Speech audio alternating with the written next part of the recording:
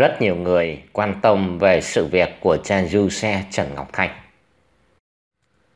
Và nhiều người rất đau lòng trước sự ra đi của cha. Đó là điều hẳn nhiên đối với những con người dù không phải là người công giáo nhưng nhìn thấy hình ảnh đó làm sao mà không xúc động được. Một vị linh mục trẻ, một vị linh mục đang phục vụ, đang cống hiến cho những người dân tộc, những người nghèo và được nói là những người nghèo nhiều điều. Nghèo nhiều thứ, nghèo tri thức, nghèo cả về vật chất, cả về tinh thần. Và những người như cha du xe trần ngọc thanh, ngài đến để phục vụ, để đem tin mừng của Chúa Giêsu Kitô đến, đem một giá trị thiết thực nhất cho cuộc sống con người. Đó không phải là vật chất, đó không phải là giàu tri thức, mà đó là giàu tình yêu thương, sự chia sẻ phục vụ tha nhân những hình ảnh cuối cùng của cha trong vụ sát hại đã được nhiều người giáo dân loan tải trên mạng xã hội không phải là những trang công giáo chính thức hay là sự lên tiếng chính thức của một vị giám mục hay là linh mục nào của một giáo phận AB nào đó ở Việt Nam mà lại là do những người giáo dân với lòng yêu mến cha, với lòng xót thương giáo hội mà chia sẻ những hình ảnh đó.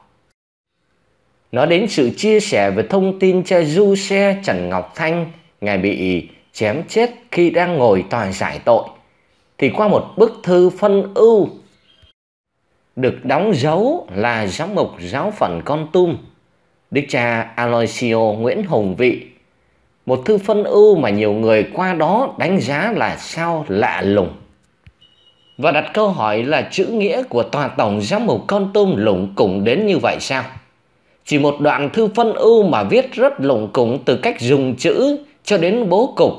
Đạo không ra đạo, đời không ra đời mà cả một tòa giám mục thì cha thư ký phải là người chấp bút chu chỉnh rồi đến người ký chẳng lẽ nhắm mắt nhắm mũi rồi ký để kịp đi ăn Tết sao? Thư phân ưu được ký vào ngày 30 tháng Giêng năm 2022. Chi tiết của thư phân ưu như sau. Kính gửi cha giám tỉnh dòng Đa Minh Việt Nam và gia đình cha du xe Trần Ngọc Thanh. Thư phân ưu kính thưa cha giám tỉnh và quý quyến. Thật bất ngờ và đau xót khi biết tin cha du xe Trần Ngọc Thanh, OP, đã đột ngột ra đi vĩnh viễn về với Chúa. Cái chết là một mầu nhiệm không ai biết xảy ra lúc nào và ở đâu. Đối với Che du xe, Ngài đón nhận cái chết trong hoàn cảnh có thể nói là rất đẹp khi đang thi hành nhiệm vụ của một chủ chăn trao ban bí tích in persona Christi. Chúng ta mất đi một người anh em trẻ trung, hăng say và dễ mến. Sự ra đi của Che Du Xe chắc chắn để lại niềm thương tiếc lớn lao cho gia đình, cho nhà dòng, cho giáo phận Con Tum và cho giáo họ Salon, Đắc Mốt. Chúng ta xin phó dâng cha xe cho Chúa. Con xin thay lời giáo phận con tum nói lên lời tri ân với nhà dòng đã cho quý cha, quý thầy trong đó có cha du xe Trần Ngọc Thanh lên con tum phụ giúp trong công việc truyền giáo và đồng thời cùng chân thành phân ưu với gia đình cha và nhà dòng về sự ra đi của cha du xe. Con tum ngày 30 tháng Giêng năm 2002 CEO Nguyễn Hùng Vị, ấn ký Mở đầu thư với dòng chữ đột ngột ra đi vĩnh viễn về với Chúa làm cho nhiều người lầm tưởng rằng cha bị một cơn bạo bệnh hay là đột ngột đột quỵ ra đi. Thực sự sự thật như thế nào tại sao nhiều vị chức sắc trong giáo hội lại không dám nói ra. Trở lại sự ra đi của cha Du Xe Trần Ngọc Thanh, một cách ra đi không bình thường và một cách ra đi quá tàn nhẫn đối với cha và đối với cả người thân của cha. Nhiều người cũng trích kinh thánh tân ước để mà kêu gọi mọi người tha thứ cho kẻ đã xuống tay với cha Du Xe Trần Ngọc Thanh. Đại khái dùng lời Chúa để hỏi những người đòi ném đá người phụ nữ ngoại tình ai chưa bao giờ phạm tội thì hãy ném đá người phụ nữ này đi. Xin thưa với nội dung này như sau, nếu nói hai từ tha thứ thì chỉ có thể là nạn nhân mới có quyền nói hai từ này. Trong trường hợp của cha du xe Trần Ngọc Thanh, Vì Ngài đã chết nên chỉ có ông bà cố là người đã sinh thành ra cha mới có quyền nói hai từ tha thứ mà thôi. Chúng ta là những người bàng quan ngoại cuộc nên nếu nói tha thứ thì chúng ta lấy cái quyền gì để đứng trước cái chết đau đớn của cha mà nói hai từ tha thứ. Dù vậy chúng tôi cũng chưa bao giờ lên án hay ghép tội cho tên đã gây ra sự việc này mà chỉ lên tiếng vì sự thật, vì công lý mà thôi. Đến với tòa giải tội, hối nhân đầu tiên phải sám hối và ăn năn, dốc lòng chừa thì ơn tha tội mới có thể được thực hiện nơi hối nhân đó bởi chính không phải là do ơn tha tội mà do chính hối nhân đó có thực hiện và có cảm nhận được sự tha thứ và thực sự được tha thứ trong cuộc đời của mình khi có sự biến đổi và hoán cải hay không thì chính hối nhân có thể biết rõ hơn ai hết. Chúa Giêsu đã thấu tỏ tâm lòng của người phụ nữ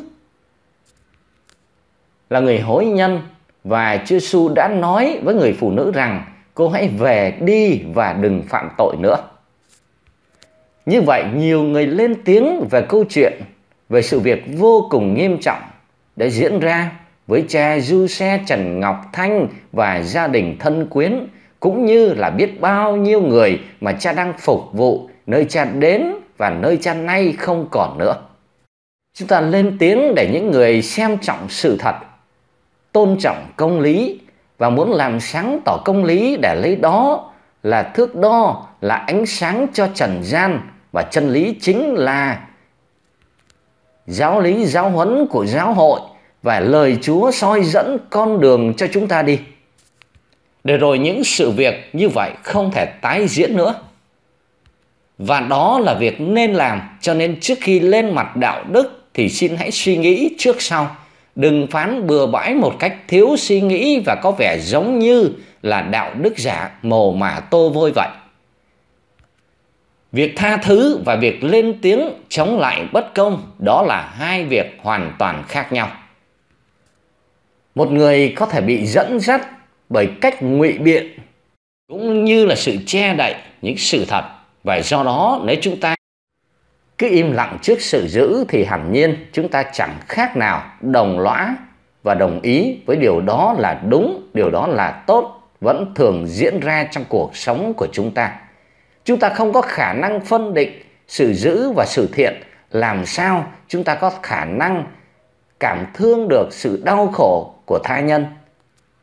Và làm sao chúng ta có khả năng tha thứ cho người khác khi chính bản thân của chúng ta cũng không phân định được đâu là điều thiện, đâu là điều ác? Cụ thể trên trang mạng xã hội vừa chia sẻ một bài viết của một cá nhân về sự tha thứ và cũng trích dẫn kinh thánh để mà kêu gọi mọi người lắng dịu lại sự việc của cha du xe Trần Ngọc Thanh như sau. Ngay đầu bài chia sẻ, người này viết rằng đừng ngại chia sẻ để cứu biết bao linh hồn đang lầm lạc. Chỉ riêng một câu tiêu đề của bài chia sẻ thôi, chúng ta đã thấy có lồng ghép biết bao nhiêu điều vô cùng tai hại. Bởi làm sao mà có thể linh hồn hết lầm lạc khi chỉ việc chia sẻ bài của cá nhân này mà thôi. Nội dung của bài chia sẻ này như sau. Mấy ngày qua mình thấy đang ung sùm về vụ việc này nên mình có vài lời muốn nói với mọi người. Để mọi người hiểu về đường lối của Chúa là như nào nha. Thứ nhất, ai trong các bạn cảm thấy bản thân mình sạch tội thì hãy tiếp tục chửi rủa lên án hành động của người thanh niên này tiếp đi. Doan chương 8 từ câu 1 đến câu 11 người này trích dẫn kinh thánh. Người phụ nữ ngoại tình, vừa tảng sáng người trở lại đền thờ, toàn dân đến với người người ngồi xuống giảng dạy họ. Lúc đó các kinh sư và người Pharisêu dẫn đến trước mặt Đức Giêsu một phụ nữ bị bắt gặp đang ngoại tình. Họ để chị ta đứng ở giữa, rồi nói với người, thưa thầy người đàn bà này bị bắt quả tang đang ngoại tình. Trong sách luật, ông OC truyền cho chúng tôi phải ném đá hạng đàn bà đó. Còn thầy, thầy nghĩ sao? Họ nói thế nhằm thử người để có bằng cớ tố cáo người. Nhưng Đức Giêsu cúi xuống lấy ngón tay viết trên đất vì họ cứ hỏi mãi nên người ngẩng lên và bảo họ ai trong các ông sạch tội thì cứ việc lấy đá mà ném trước đi. Rồi người lại cúi xuống viết trên đất, nghe vậy họ bỏ đi hết, kẻ trước người sau, bắt đầu từ những người lớn tuổi chỉ còn lại một mình Đức Giêsu và người phụ nữ thì đứng ở giữa. Người ngẩng lên và nói, này chị họ đâu cả rồi, không ai lên án chị sao? Người đàn bà đáp, thưa ông không có ai cả. Đức Giêsu nói, tôi cũng vậy, tôi không lên án chị đâu, thôi chị cứ về đi và từ nay đừng phạm tội nữa. Đúng là đoạn tin mừng Chúa Giêsu đã tha thứ cho người phụ nữ, bởi vì đầu tiên Chúa thấu tỏ tâm can của người phụ nữ đã hối hận trước hành động của mình và muốn có một cơ hội để thay đổi. Chúa thấu tỏ, Chúa nhìn rõ tâm hồn của người phụ nữ này. Điều thứ hai, chúng ta thấy những người Pharisêu và những kinh sư đưa Chúa đến trong tình huống này tạo một cái bẫy để mà bắt bẻ Chúa, để mà hy vọng Chúa có sự sơ suất trong việc ứng xử mà họ đặt ra một tình huống, đó là người phụ nữ phạm tội ngoại tình. Và trong Kinh Thánh cũng nói rõ rằng, họ nói thế nhằm thử người để có bằng cớ tố cáo người. Và Kinh Thánh cũng nói rõ là vì họ cứ hỏi mãi nên người mới ngẩng lên và bảo với họ, ai trong các ông sạch tội thì cứ việc lấy đá mà ném trước đi.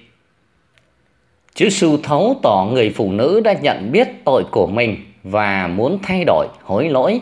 Và Chúa Giêsu nói, tôi cũng vậy, tôi không lên án chị đâu. Và điều quan trọng hơn, Ngài còn nói, thôi cứ về đi và từ nay đừng phạm tội nữa.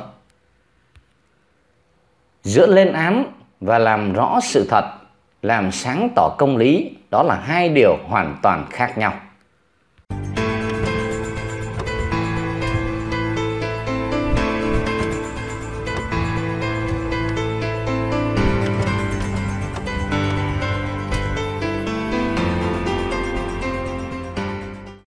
Kính thưa quý vị, một chút thông tin kênh xin gửi đến quý vị. Xin chân thành cảm ơn quý vị đã dành thời gian quý báu để lắng nghe, cũng như dành thời gian để nhấn đăng ký và thích kênh, để quý vị có thể nhận được những video mới nhất từ kênh. Xin trân trọng.